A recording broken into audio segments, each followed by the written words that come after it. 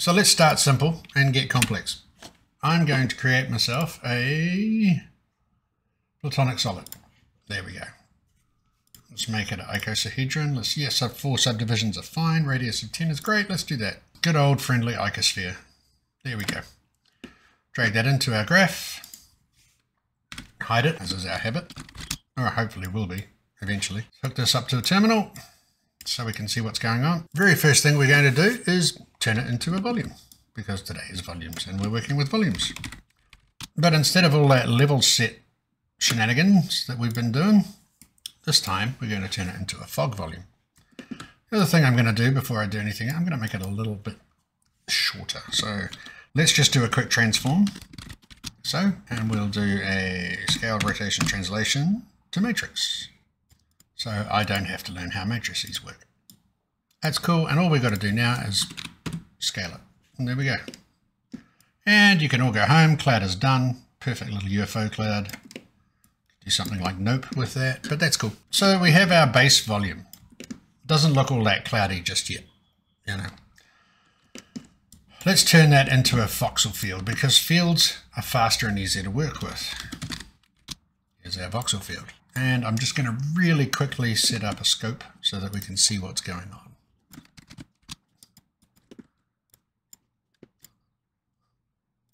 Now you see how the scope isn't showing anything? My voxel field is still set to voxel signed distance. I need to change that to voxel fog density. And then you can see the results of the field. So this is showing me the fog density as a field. And we're going to be able to do things to this field to make it more cloudy. So bear with me. What we're going to do now is add advect this field. And what on earth is advection all about? Advects a scalar or vector field along a velocity field for the length specified by the time step. Clear as mud? Basically moves a field. But we'll get we'll get into that a bit more later. So let's plug this in. And at the moment, it's not really going to change all of that much because we're not haven't got a field to advect it with. So if I put down a fractal turbulence field, because it needs to be a velocity field, it needs to be a vector field. Look, that's just the turbulence. Plug that in. Still not much going on because our time step here our time step is the length of our advection. So let's quickly change that to 10 and you can see what's going on here. Is it's using this field to move the values in the other one. So if I just turn that down a bit, you can see how this is working.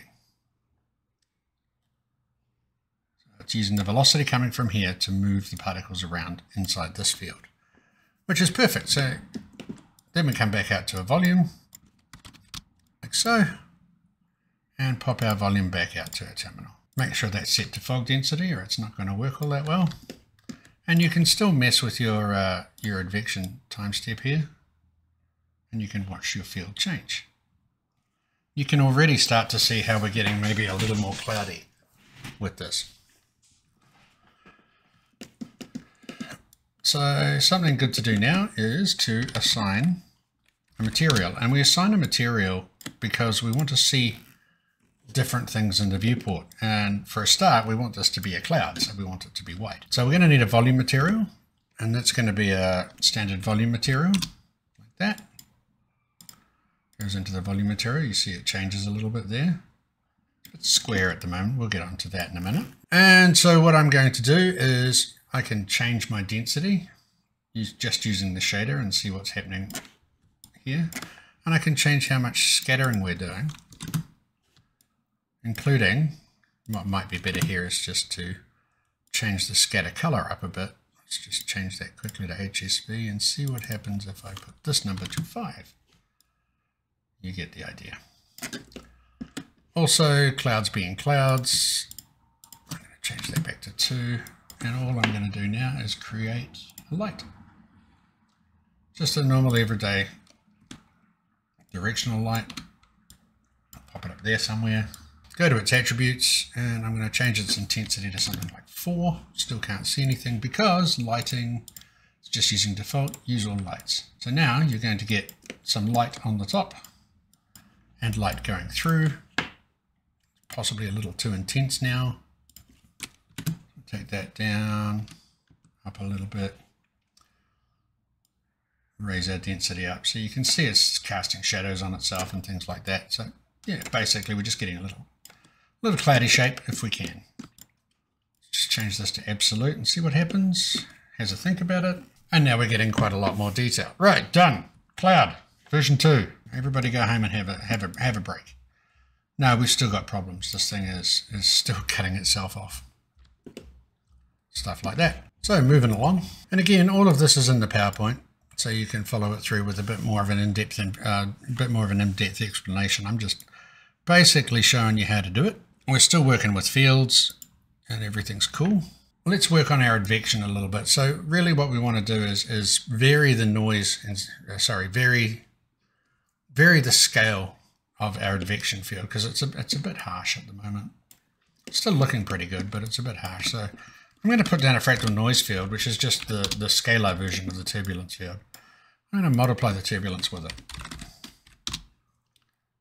Just to get some kind of look going on here. Let's push the magnitude of that field up a bit. I'm going to take this back to low res so it's a lot faster. You can see what's going on there.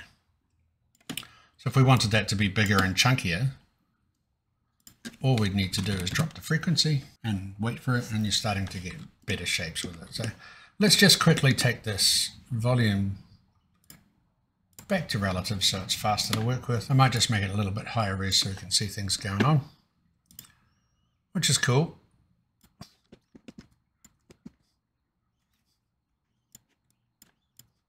So I'm not really fond of how the the field, well, the volume is hitting its own bounding box and cutting off here. So I'm just going to use my offset here to shrink it in a bit, maybe a little bit more, just so we've got less of that being cut off. And because I've done that, I can increase my scale here to get more sort of thickness, maybe 0.25. Like that. It's looking okay now. And then it's just a matter of getting it looking the way you want. So we can up the frequency to get more sort of more bumpy sort of look. Or use the ratio to make it more complicated or smooth it out a bit. Change the frequency with the frequency ratio. Something like that. Not looking too bad for now. Next thing we want to work on is the starting shape. It's it's very regular. I mean, even with all of these bumpies and lumpies in it, it's very it's a very regular shape. So what I'm going to do to my to my platonic shape here is I'm going to do a bit of a displacement on this end. As we do, and we're going to use our old friend fractal noise field to do it. Because the fractal noise field is awesome. And I'm just going to plug this in here. And bring my terminal away from the field end. We'll just take a look at our, we'll just take a look at what our object looks like now. You see it's quite spiky. So let's just adjust some things here. Let's bring our frequency down and our magnitude up. Like that. And really what we want to do is, like, we, we're trying to get a different shape to our, we're trying to get a different shape to our final cloud which this is helping already. Again, we're still getting a bit of a cutoff there, but we're working on it. But really what we're trying to uh, emulate here is that like clouds are, are a lot flatter on the bottom than they are on the top usually. So what I'm going to do is I'm going to just come back here a minute and work on my geometry to do that. So let's take these guys and what I'm going to do, put out my, put out my terminal. I'm going to get the point positions of these. Yep, and then I'm going to split that into its component parts. So that's vector to scalar or vector 3 to scalar. Let's just grab all of these guys and bring them back a bit. We're going to do the old thing with the, like I said, we should probably build something to do this for us, array bounds and the change range, like this. So it goes from that and that. to, let's just start with 0 to 2. And then what I'm going to do is put down an actual fractal noise. Now this is the geometry version of the fields that we've been using. So it needs a position input.